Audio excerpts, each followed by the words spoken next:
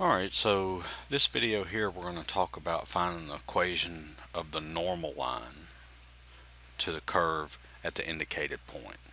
Okay, so what's the the normal line?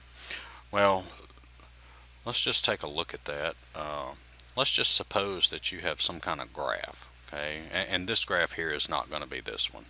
So let, let's just say that we have a graph here of a parabola. Okay?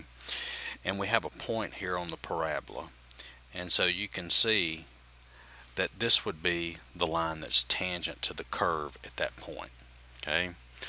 The normal line is the line that is perpendicular to the tangent line. See this is the tangent line and this line here is the normal line. It's the line that's perpendicular to the tangent line okay alright so let's uh, let's take a look at this. So uh, if you know how to find the equation of the tangent line, okay, and if you if you're looking for that video, I have a video of that posted also. But to find the equation of the normal line, what we have to do is we have to take the derivative of this of this function and then evaluate it at this point. Okay, and when we take the derivative of this function and evaluate it at the point, that gives us the slope of the tangent line. Okay. Well, since we know that the normal line is perpendicular to the tangent line, then that means the normal line, the slope of the normal line, is just the negative reciprocal of the slope of the tangent line. So what we need to do here is find the slope of the tangent line. So I take the derivative. So f prime of x is equal to, well, first let's, let's rewrite our function. So I've got f of x is equal to 3x squared minus 2 raised to the 1 half. Okay, so now we can use the chain rule. So I'm bringing the 1 half down times, and then that's going to be 3x squared minus 2, and then subtract 1, so that's to the negative 1 half times the derivative of what's inside the parentheses. So that's times 6x. Okay, I'm using the chain here, the chain rule here to find the derivative. Okay, uh, I don't know if you've gotten to that point in your calculus class or not, but you'll you'll do it uh, shortly after you start finding derivatives. Okay, but the the, the main thing here is. Uh, it doesn't really matter what derivative rule you have to use.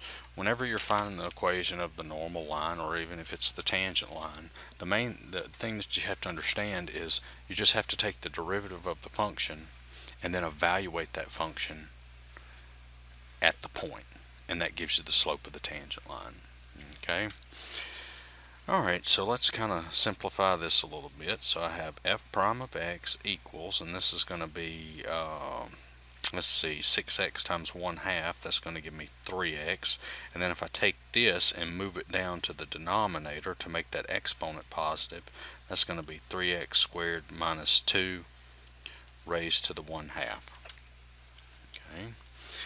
Alright so now let's find the slope and I'm going to put a subscript here this tan because this is going to let me know that this is the slope of the tangent line Alright, so that's equal to f prime of, I'm sorry, that's equal to f prime of, and see we have to plug this point in. Well there's no y value in the derivative, so I'm not going to have to plug the 5 in, I'll just have to plug the 3 in. So f prime of 3 is going to be 3 times 3 over 3 times 3 squared minus 2 and all that raised to the 1 half. And so I get 9 over, and that's going to be 27 minus 2, which is uh, 25 to the 1 half. So that's going to give me 9 fifths. And the square root of, remember 25 to the 1 half is the same thing as the square root of, square root of 25. So there's the slope of my tangent line. So the slope of my and I'm going to put a subscript norm for slope of the normal line.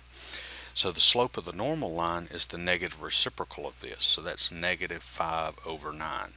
Okay, so now I have my slope and I have my point which is the point 35. Okay, I'm going to write that right here. So now all I'm doing is I'm finding the equation of the line that has a slope of negative 5 ninths and passes through the point 3, 5. Okay.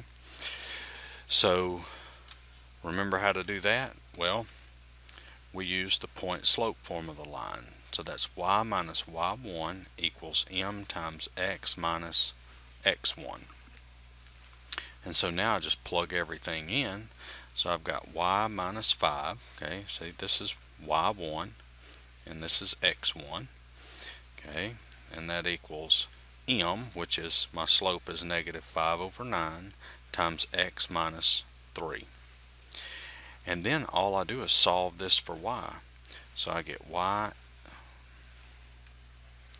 so I get y minus 5 equals negative 5 over 9x plus 5 thirds.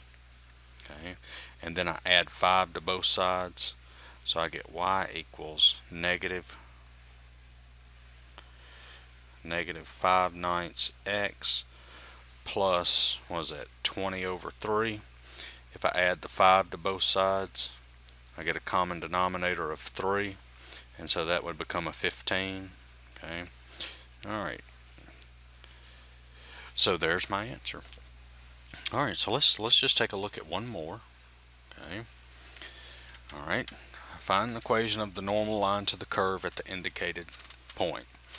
Alright, so here I can uh, I can use the product rule to find the derivative.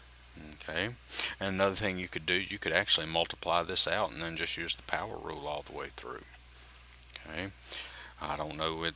I don't know which one would be easier. Uh, it looks like if we use the product rule, we'll have to use the we'll have to FOIL something out. So how about we just multiply through here?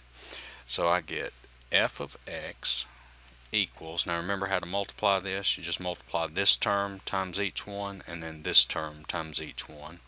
So that's going to give us x to the fourth minus 3x squared plus x and then I multiply the 2 to each term plus 2x cubed minus 6x plus 2.